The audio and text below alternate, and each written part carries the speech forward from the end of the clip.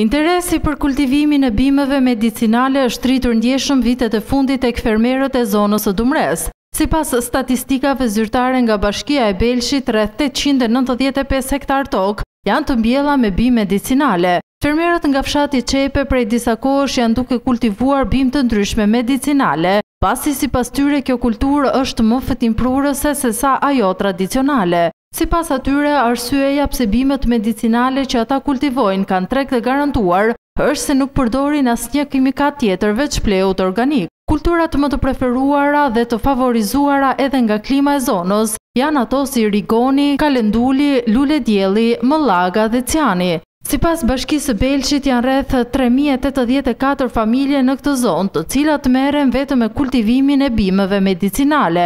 Falë kësaj shumë prej fermerëve kanë përfituar edhe subvencione.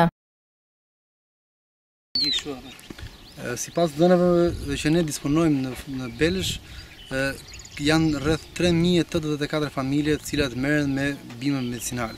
Pra me këtë lloj kulture. Kryesisht kultura kryesore e më të mbjellë janë rigoni, pastaj pas tij vjen ciani, i cili këto vite të fundit ka filluar që t'ia marrë ndoshta vendin e parë rigonit.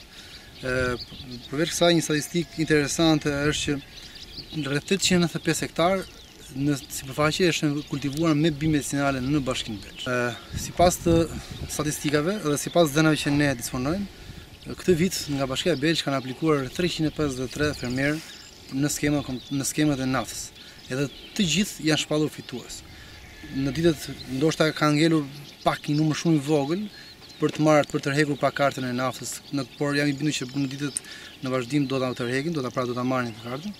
Gjithashtu, edhe në skemat kombëtare, aplikimet që janë bërë nga fermerët janë kryer nga zyra pra pranë bashkisë Belsh, me asistencën tonë. Zona e Dumresë ka një traditë të konsoliduar në prodhimin dhe eksportin e bimëve medicinale dhe aromatike. Kjo traditë ka qenë dhe vazhdon të jetë një nga kategoritë kryesore të produkteve agro-ushqimore që janë eksportuar aktualisht, të dytat pas perimeve.